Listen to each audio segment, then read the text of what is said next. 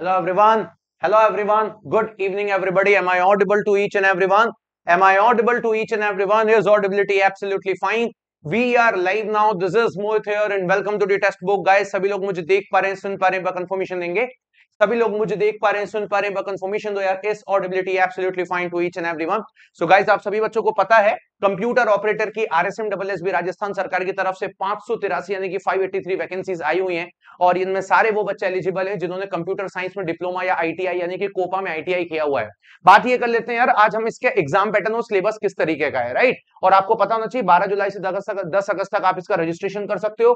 और अगर हम बात करते हैं इसके सिलेबस की तो आपको पूरी तरीके से इसका सिलेबस जो है, इसका एग्ज़ाम पैटर्न जो है, वो टेक्स्ट बुक के प्लेटफॉर्म पे अवेलेबल है। आराम से आप इसको देख सकते हो, आराम से इसको आप एग्जीक्यूट भी कर सकते हो। राइट. तो अगर हम सिलेबस की बात करेंगे यहाँ पर तो यार आप लोग देखोगे सबसे पहले मैं एग्ज़ाम पैटर्न और सिलेबस आपको बताने की कोशिश करता हूँ।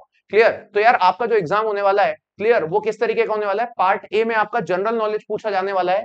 तीस क्वेश्चन रहेंगे, तीस नंबर का ये पेपर रहेगा और पार्ट बी जो रहेगा उसमें स्टेटिस्टिक्स इकोनॉमिक्स और मैथमेटिक्स पूछी जाएगी सत्तर नंबर की और ये ग्रेजुएशन लेवल का रहेगा मतलब बैचलर्स डिग्री लेवल का रहेगा, ऐसा इन लोगों ने मेंशन किया है। और सत्तर क्वेश्चन रहेंगे और दो घंटे में आप लोगों के पास पूरी तरीके से हंड्रेड क्वेश्चन और सौ और सौ नंबर का ये आपका पेपर रहने वाला है, राइट? तो ये कंप्यूटर ऑपरेटर का गाइस रिटर्न एग्जामिनेशन का सिलेबस है। अब बात कर लेते हैं कि यार सिलेबस के अंदर क्या क्या सारी चीज़ें आप लोगों को देखने की ज़रूरत है। तो यार अगर हम जनरल नॉलेज की बात करें तो पूरी तरीके से आपको राजस्थान का जीके पढ़ना है, चाहे वो ज्योग्राफी हो नेचुरल रिसोर्स हो क्लियर सोशो इकोनॉमिक डेवलपमेंट हो, राजस्थान का हिस्ट्री कल्चर हेरिटेज हो, राजस्थान का। और स्टैटिक इकोनॉमिक्स और मैथमेटिक्स में क्या पूछा जा रहा है? पहले के अकॉर्डिंग जैसे डिज़ाइन ऑफ़ सैंपल सर्वे क्या होता है? कोरिलेशन रिग्रेशन क्या होता है? स्टेटिस्टिक्स का पार्ट है। इंडेक्स नंबर क्या है?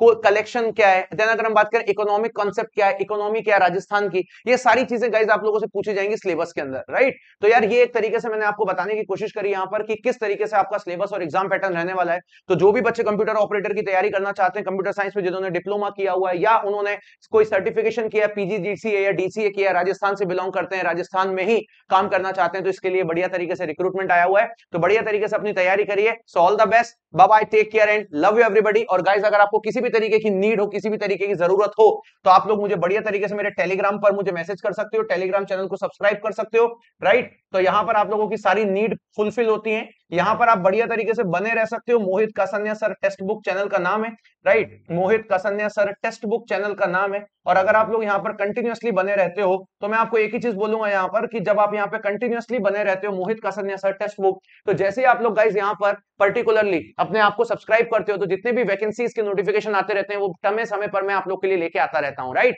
तो आपको तुरंत उसके नोटिफिकेशन मिलते रहेंगे। So thank you very much bye take care and love you everybody guys